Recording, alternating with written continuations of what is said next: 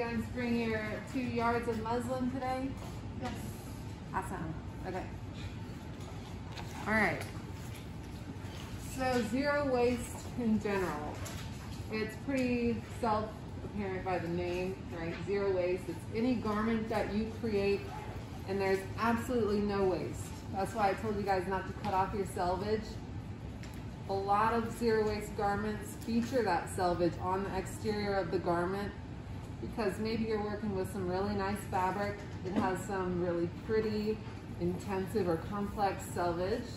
Have you seen fabrics that use like metallic threads and bright colors and they pay attention to the design of their selvage? They use that for the outseam of your jeans, really well-made jeans. So when you cuff them, you can see that selvage. It's like a point of pride. But so you keep selvage on your fabric. You don't cut any corners off. You keep everything intact.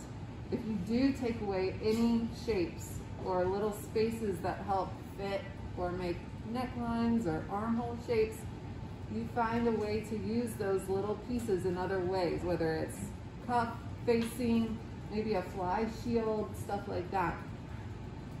With this process, zero waste, we're familiar with a process that is very conventional in that you design your look, you draw it out, you make a nice illustration, you hand that to the pattern maker, they make the patterns, and then uh, the cutter decides the layout of these patterns. And obviously you can make a position, a layout of patterns and position them in a way that it will be the most effective while still staying true to those conventional shapes. But um, this is not how we do zero waste production. All of those things happen at the same time.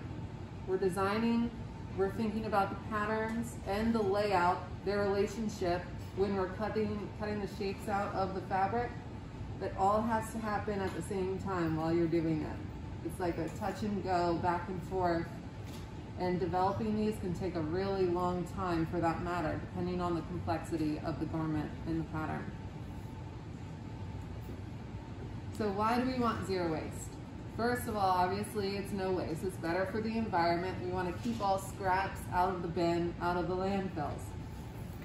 Secondly, this allows us to stumble upon new silhouettes that we would never dream of if we were just sketching a look.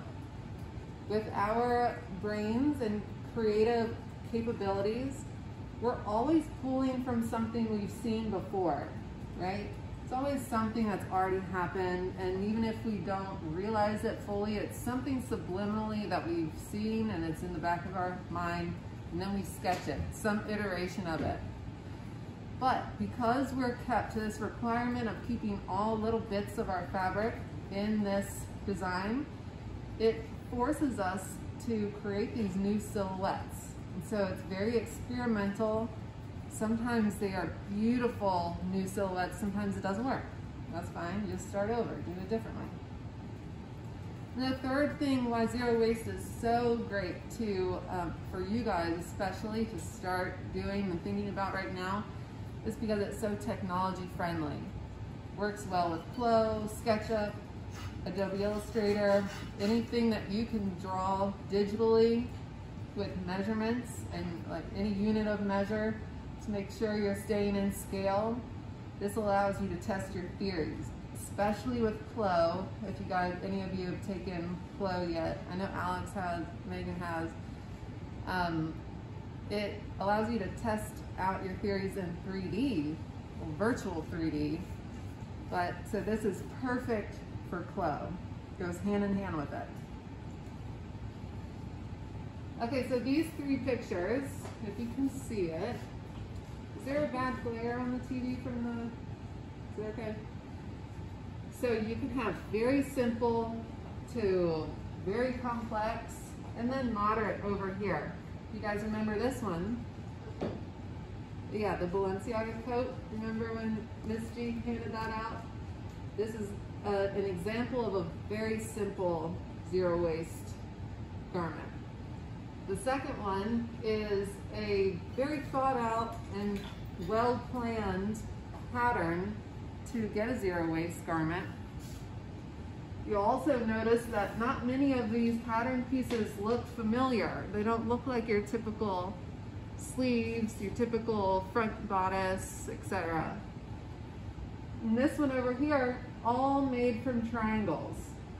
And why this works so well, working with just geometric shapes, is because they fit perfectly together and they use up all of your width. No matter what width, length, it works.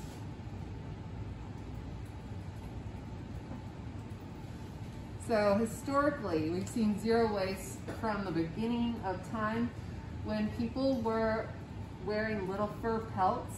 They didn't cut anything away. It was just the edge of the fur, the hide, and that was it. And likewise, the Japanese kimono, when they would make kimonos, they had precious panels of fabric that were smaller, woven on a small uh, bed that it was very special. They weren't going to cut this up. They weren't going to uh, mince it, whatever. But they just use rectangles to create these kimonos. Same with the Chinese trousers, traditionally, all made with rectangles. So we've seen this in history. It's been here for a long time. It's just now beginning to be like a hot topic trend type of thing because we are forced to consider the environment, rightly so. Zandra Rhodes, she's a designer from the 1980s, known for her prints. This is one of her designs. In the 1980s, people weren't talking about zero waste, but she was doing it. And she developed this design in conjunction with this print and the layout of these blocks to work exactly how she intended it when this was sewn together. So think about it like that. With the printing technology that we have, this can work really well together. So now let's move into the techniques of how you guys are gonna, one, start this exercise, and two, develop your sketches later on into zero waste patterns. So the first thing I want to talk about is pattern cutting, zero waste pattern cutting. This is a common thing that you'll hear when uh, reading, talking, hearing about zero waste. It refers to figuring out, just like we were looking at before, figuring out the layout of the pattern and getting it to a spot where it's the most efficient use of the fabric. And this can change the shape of your patterns a little bit. This is one way that we're able to develop conventional shapes into zero waste friendly shapes. However, I want to point something out on this slide though. You see these tiny gray spots right here? One, two, three, four. Those are all waste on this layout. They did a dang good job putting all of this together, right? The waste is like, I don't know, 2%, if that, maybe 1%, but it's still not zero waste. It has to be everything. This is low waste. And you can't claim zero waste if it's like this. You Can't cheat it. You gotta just go by honor system and say, yes, I use those to face my uh, upper buttonhole closure or something. Got to find a way to use that or either change these shapes to exactly meet the other shapes that you're lacking, right? So this is one of Holly McQuillan's. So you're to hear this name a lot. This is her book that she co-authored with Tim Rissanen. And he she and he are have been working in zero waste for so long. They've done graduate studies about this. They've clearly written a book. They do lectures. They go all around uh, to different universities talking about their methods. They are really some of the for the like pioneers of this this technique of garment designing. Um, So I bring that up because this book is something really good to look at, even just if you want to flip through it when you're starting your exercise. But also if you want to get it yourself, it's not expensive and it's very interesting. You will read it like you won't put it down. It's so interesting. It shows you all sorts of plans for zero waste. She's very uh, generous with all of her patterns that she's developed that has taken her many months and years to do. Uh, she gives them all away in this and uh, it has a lot of interviews with other zero waste designers that are cool to hear how they think about things when they do zero waste. So that's here for looking at in a bit. Um, with this though, just as we were talking about when this was up before, these are rectangles mostly that she's working with. And she has a jacket that looks pretty close to what you would normally see. You have a lot of volume here in the back, sort of like when we did those tunnel sleeves, the bat wings, that shape, it gives you a lot of volume and dragging right here when you put your arm all the way down, but it still works. You sort of have to um, give up fit for zero waste a little bit, unless you use, unless you use elements of shape.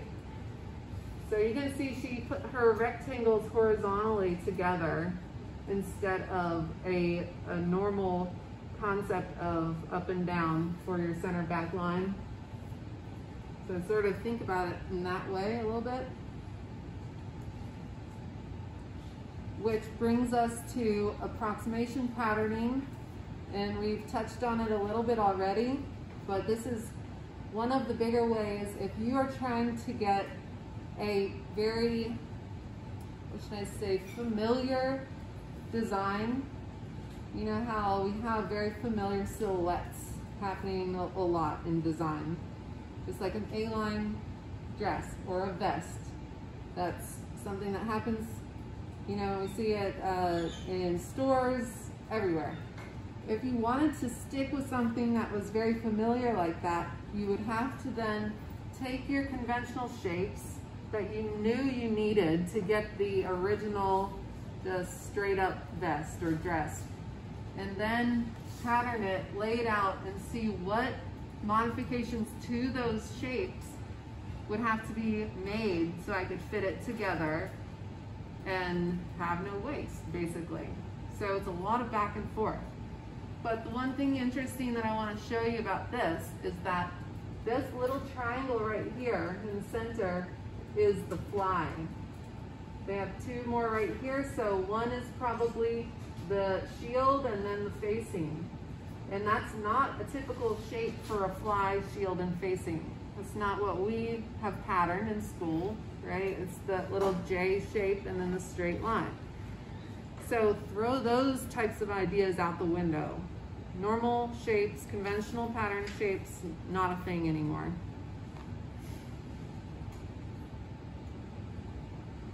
Another helpful thing, if you're developing this, color coding. It allows you to match up your patterns and the corresponding pieces. So obviously sleeve, upper and under. And then you have pocket, lining, facing, or bag. No, elbow, elbow pads or something. But this color coding, especially if you're working digitally, can really help keep things organized. Technology, like you were saying, goes hand in hand, like Zandra Rhodes. Printing out an entire piece of fabric, maybe on Spoonflower or whatever print uh, company you prefer. Each one of these patterns is in a different print and then used accordingly. So you can um, not only have a single piece of fabric, but you don't have to buy all different bolts. For making the patterns for zero waste fashion, would you like cut out the pattern on a big square or would you cut out each of the pieces and then just know how they would fit together on your fabric? Would you cut Like, out you as a big have- If you're square? making a top, would you have one pattern piece, which is a big square with all the marking? Uh-huh. Or would you have like fifteen different pattern pieces that you would have independently cut out and then just have some sort of indication of how they fit together on the fabric? If I'm correctly, both. Okay, You both would be correct, if it, whichever worked best for you. okay. Um, but if I'm not answering that correctly, let's talk more. that's I think that's correct. Okay. So this is Holly McQuillan. Um, New Zealand designer, like we were talking about, has done a lot of work with zero waste. Here's one of her patterns, and it's perfectly utilizing every scrap of this fabric. Notice how there aren't many straight lines here, like we were talking about with the geometric shapes, uh, triangles, rectangles, rhombosoid rhomboids, parallelograms, whatever. So she has all these curves in here that work because we do have a lot of natural curves on the body. As long as you have that corresponding piece that works with it, great. The other thing that she's known to do a lot is use paper for testing out your theories before going into fabric. Otherwise, you can go into fabric but a smaller scale. Same situation, you're just testing it out on smaller scale. And I'm gonna hand out computer paper so you can do some planning, but just by cutting out those shapes and taping them together, you can get a feel for if that theory of shape is gonna do what you thought it is. Here's the Timo Rissanen guy. Um, he has a very similar way of zero waste development. Here's one of his patterns, so you can see um, it's a lot of time that goes into that. He didn't just think, oh, I'm, I'm speaking for him, but this is pretty obvious, that he didn't just see that in his head and was like, this is gonna work. He spent months going back and forth, like this shape is needed here, let me drape it, oh, actually it changed to this. Let me put that on paper, I take that to the form, oh, need to change that, go back to the thing I was planning. It's a lot of back and forth. So don't be afraid of, of spending that time of reworking things. And it's okay to do that. In fact, you should be doing that, reworking and being okay with it. So the next thing after pattern cutting, which is the more uh, direct, like pattern making version of this, subtraction cutting. This was developed by a designer, Julian Roberts. He's London based and he had supposedly had trouble in school seeing or understanding what these conventional pattern shapes were doing in the way of fitting around the body and different body parts. Like we know what a sleeve looks like and why it works on the arm, but his brain didn't work like that quite. So he came up with this method of subtraction cutting and it focuses more on the negative space that you're creating rather than the outward shape and silhouette and volume you have with your fabric. So with this, again, like the other one, it's the same. You're throwing conventional pattern shapes out the window. You want to focus on how the body is going through the garment. How is it going to be put on, basically, and how is it going to live when it's adjusted and fully on the body? The negative space for the body to live in.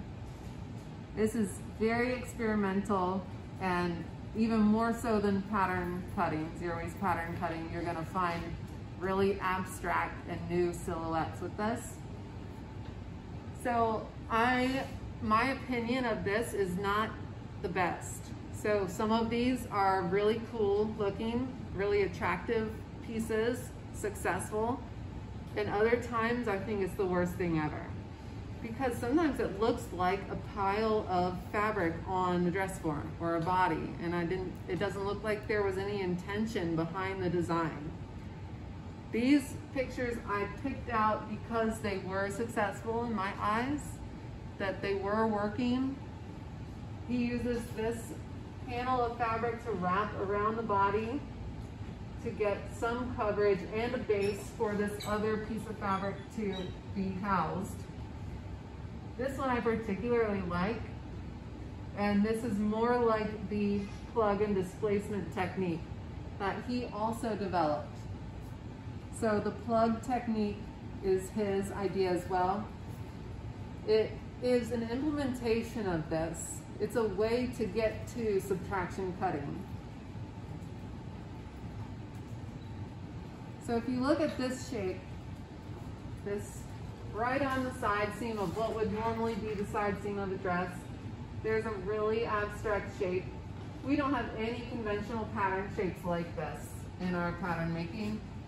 But the thought of this, the idea behind plug and displacement or the plug technique is that if you have a sewing area or a length, whatever unit of measure you want to do, you have an area that is hypothetically 100 inches long, and this sewing area or sewing edge is also 100 inches long. Doesn't matter what shape, what seam, doesn't matter. You can sew that to this. And you will get some crazy fit and volume happening, but it will fit together as long as they're the same sewing distance. So if you had a longer one, you do what we do, like pleats or gathers to shorten it so it would fit into it.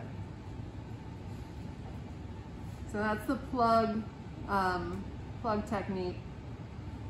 Here's some of his work where you can see a clear top of a dress, front and back, where they would just meet right at the shoulder and sew up like normal. And then you have all of this remainder happening down here. So it's a lot of testing.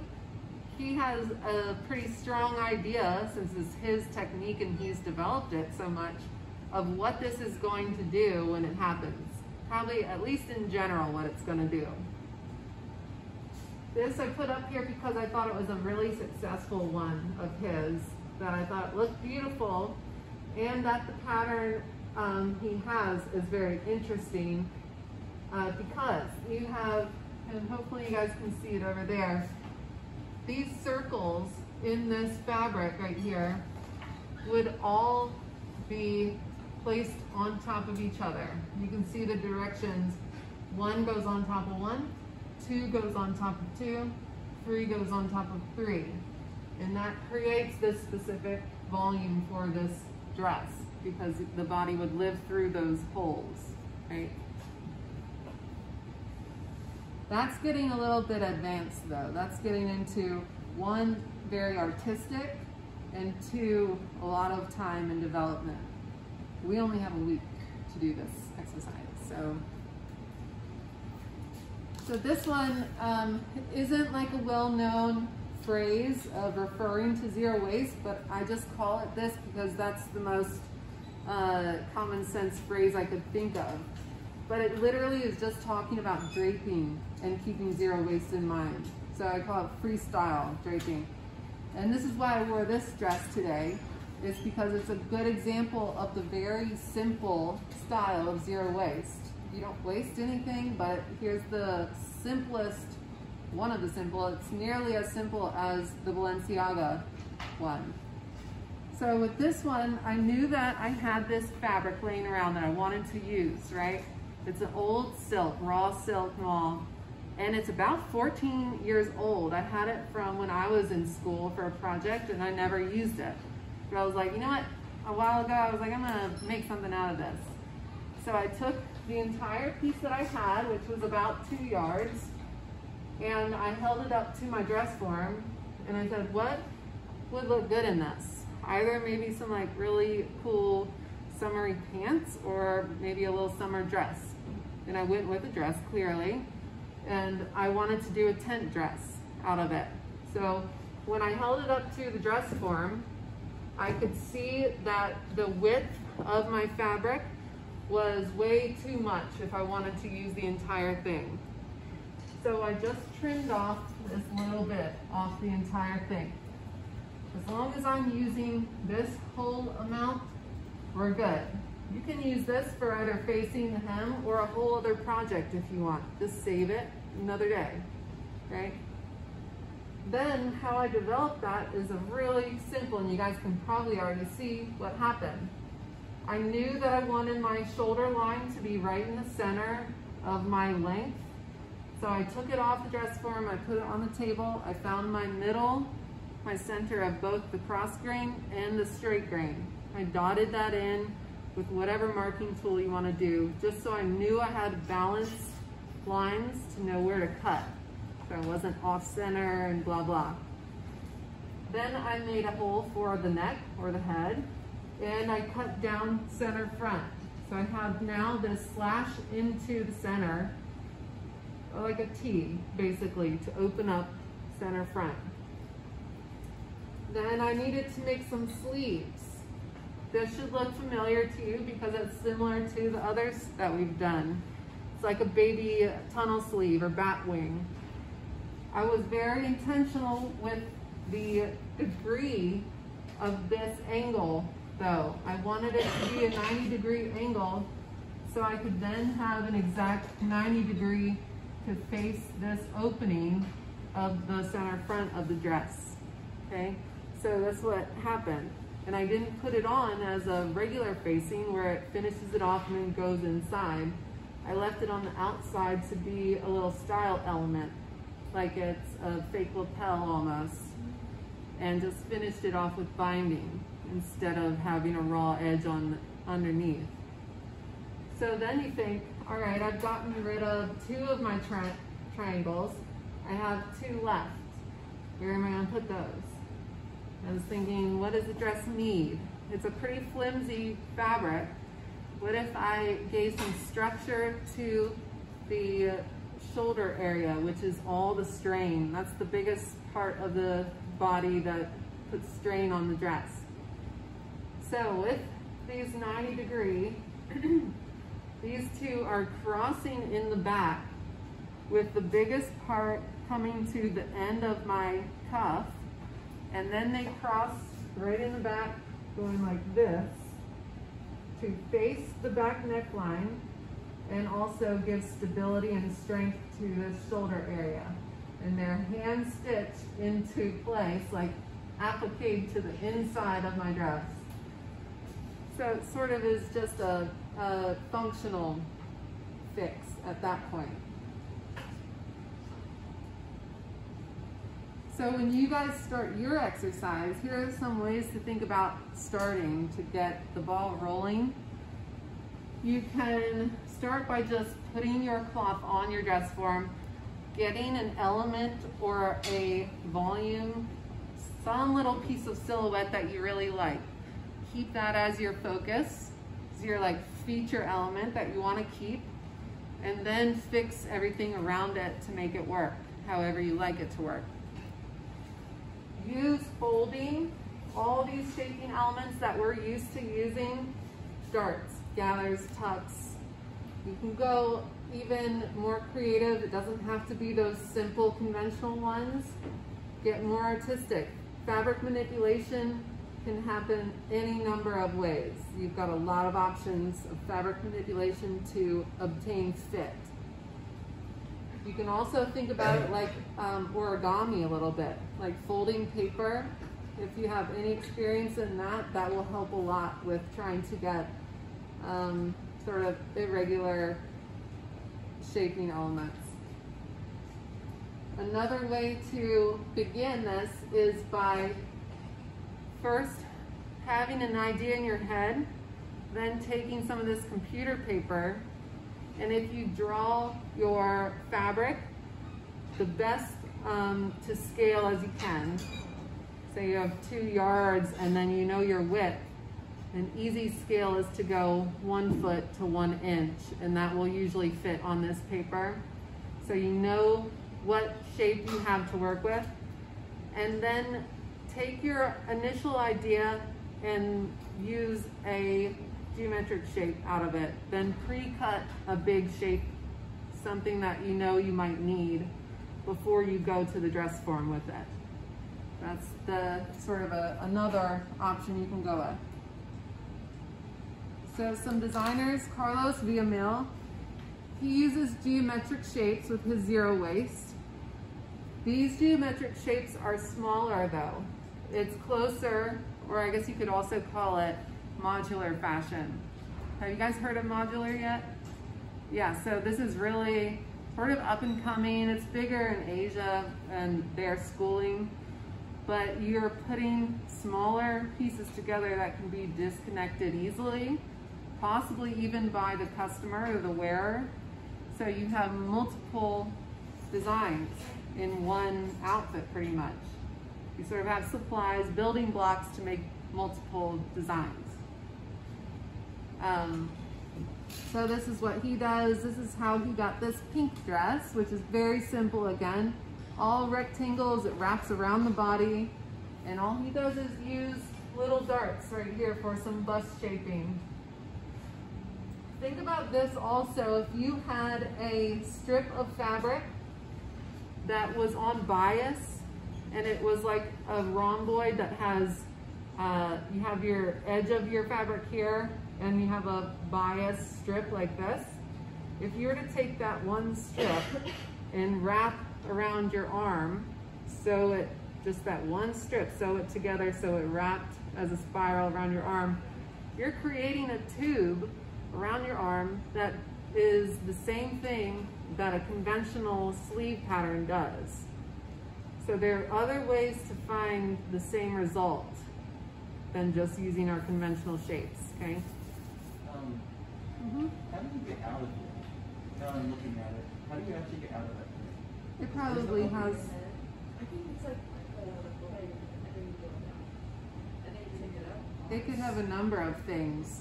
So, but that's a really good point to bring up because while you're doing this, remember how we have to be thinking of all of this while we're doing it? We're designing it, we're pattern making it, and we're considering the relationship of these shapes together. We have to think about the closure and how we get in and out of this. So that's a really good point. You have to have a closure. You can't just have a sculpture on a dress form and call it done. It's got to be functional. But I'm sure it's somewhere. that one, you put like a, a snap or something in the bust or the waist. Yeah. Segments and then open it. Yeah, because you ain't opening the back unless you want to pull all the way from the front and unfold it. That would make much sense. It does seem like there's probably a really inconspicuous, um, like underneath magic, hidden magic somewhere doing it. It's not just like a straightforward side seam zipper or something. But yeah, there it could be a number of things. She was sewn into it, possibly. So here's Yuli Lai Tang. Um, this designer also works with geometric shapes, but definitely more complex than what you just saw. So this is gonna give you more interest with your design, but it definitely takes more time, more development. Remember Vionnet? She obviously uh, pioneered bias, the use of bias in her garments, but this is also a zero waste design that she did way back in the day, 1900s, early 1900s. And just by the use of these two squares on bias, she was able to create one of the most iconic and classic form-fitting or flattering, I should say, garments in fashion history. Very simple. Modular fashion, we just talked about that. Um, this is a, a really cool idea, but this also takes a lot of development and more than what we have for this project. But keep in mind for later, this is cool, this is really great. What was that on What is that? This one, or this Yeah, yeah, leather pieces. So you can get zero waste because all of these rhomboids or parallelograms, I should say, fit together perfectly. And then the uh, little connectors are uh, essentially just off the side of, oh, you know what? I thought when I was looking at that, I thought these were separate pieces, but you would have to then They're they're connected. So I wonder how they get around having. connected. It's just the slits. So There's that a you little can slit go- there. Yeah. Yeah, Looks like but they might so I thought it was just this whole like a piece, Yeah. an eye that was separate, and then you had these pieces, Some of them aren't. um, but they're connected right here. So each side has a little T off of it, and that stops it from being able to fit together perfectly. And then there's another that has a slit on the sides, and they have a T and a slit, so I think it's like. It's freezing. I think it has Something. slits on both of them, and then they kind of wrap that little tab around and slide through, and that's like. Yeah, they do that, but this is there's no cut right here. It Yeah, has, so it comes off a of it, T. like- And I was thinking that it, it was completely separate when I saw it at first, so they could get full usage out of these shapes fitting together perfectly. Yeah, But it's some other slight variation of it. This is definitely not mass marketing, that's. No, it's very like one of a kind. Other techniques also considered zero waste that are more familiar to us, like knitting, weaving, crochet, macrame, felting with wool. You're just using exactly what you need to get what you're you're trying to get. So felting is considered zero waste. Patchwork. If you have a bag or a box of scraps, scrap fabric at home, and you were to use that to patch together a garment, that's zero waste. Just like we have out in the hallway, that bin of scrap fabrics, you could use that to create anything you wanted. And by using such small pieces, you can get whatever fit you want. This is Zero Waste Daniel. Everybody knows about him, right? Yeah. Um, Study New York is a great, great website that you guys should know and look into. They are actually moving more into consulting for companies, helping them get to more ethical practices, whatever way it might be. But they also have more, um, they have collections, they feature collections on their website that designers use zero waste or more whatever ethical thing they choose to use. So Study New York is a big time uh, company or brand that you need to know about. This weaving is interesting because we're not just talking about tiny yarns that you weave a piece of fabric together with. Weaving can also be like big strips of fabric. If you were to take four inch width panels of your muslin and weave that together, that is also weaving, you know? And we only have a couple more slides, so hang with me. So this really quickly, talking about sizing and grading your sizes with zero waste. It's not as easy as it, it is with normal. And normal patterns, it is very difficult. It's, it's a science behind it. Uh, so you have one-offs, what you guys are gonna make in a little bit. This next exercise, you're just creating one-offs, doesn't matter. You don't have to think about sizing it later on. It's just an art piece. And making it one of a kind sort of makes it more desirable. People covet things that no one else can have when you do things just one of a kind. But if you were to try to mass produce this, or at least pattern it so you could produce it later on for multiple people, you have to consider the width of your fabric and what is required out of your, your shapes, your pattern shapes. So this one's a very simple example. They're just taking a front and a back, they're exactly the same, and they're puzzle piecing them together to use every last bit of the width. That's great. It's simple and perfect. You can't get any better than that. But let's say they needed a bigger size. This is one way of, of getting around this. So having such a loose silhouette and a loose fit of a garment, this is, you can claim one size fits most. So you don't have to think about grading so much. But in typical grading, grading up or down, you would need not only this dress to get wider, but you would also then do a little bit longer. So that changes everything about that.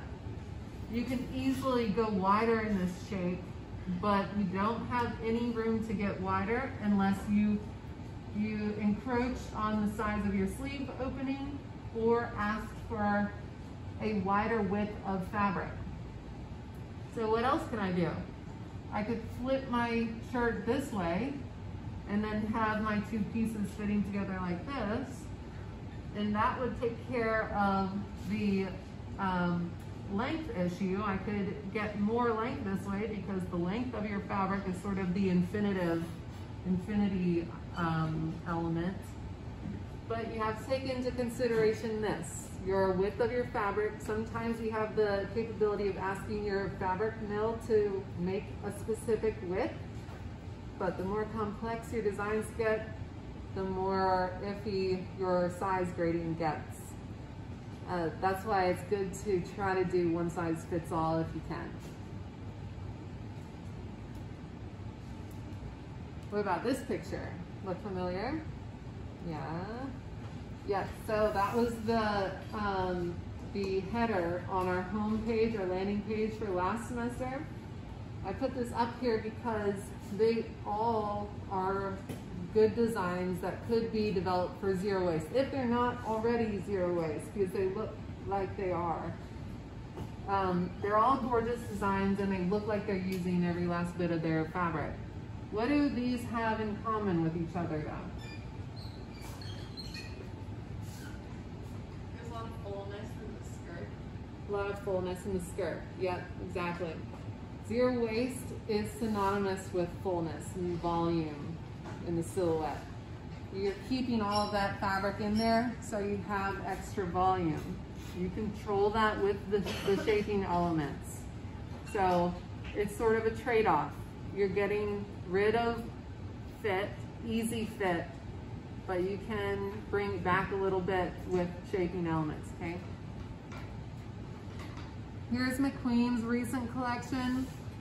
And I put this up here because these also look like they were zero waste. All of these could be easily developed for zero waste patterns. So the last slide is what I want you guys to keep in mind when you're doing this exercise or any zero waste project. So start simple. You don't want to go too complex, especially with our time limit right now. Simpler is better. Think geometric shapes. Try to fit together shapes and imagine what they would do. Try it out on paper. Conventional rules are out the window with this one. Try to compartmentalize that and keep it away from this process. It's hard to do, but it will make it a lot uh, more free for your brain to sort of go around. Um, straight grain, straight grain also. You know how we are sort of super strict about grain, doesn't matter. Straight grain doesn't matter, cross grain doesn't matter. Bias still is good. It helps you when you're trying to go around corners and get some growth or stretch to your fit. And uh, that's where triangles can come in handy. If you want to get a bias, the properties of bias, use triangles because you have those three sides. One of them gonna, is going to be on bias, or if not two. Yeah, two or probably, at least one, maybe two. But bias and triangles go hand in hand. You're gonna lose fit. Use your fabric manipulation to gain fit, whether that's really artistic, abstract fabric manipulation, or if it's our conventional tucks, gathers, pleats, blah, blah. Uh, consider modular fashion, but maybe not for this one. That's a little bit more advanced and will take a lot of your time. And remember, just because you reached zero waste with your garment design does not mean it's a successful garment. It has to be one that doesn't hurt for the wearer to wear it. It's not like painful for the person to have it on. That they can actually get into it and out of it and that they think it's cool. They want to wear it. They would buy it. They think it's pretty or whatever. It has to be aesthetically either interesting or cool and look like it wasn't just haphazardly thrown on, on the form. And then being a novice is optimal with zero waste. If you guys came into this without having gone to school at all, it would be like the biggest benefit ever with this because it's no rules. It's none of the conventional stuff you've learned. This is all about experimentation. So, having said that, you guys are going to have a lot of back and forth. You're gonna be like dress form, and you know, some of the people in the first section had beautiful drapes by the end of class. Uh, so it doesn't have to take a long time, but I do encourage you to, if you're not feeling it or it's not working quite, then just start over. It doesn't take that much time, a couple minutes to just scrap it and start over.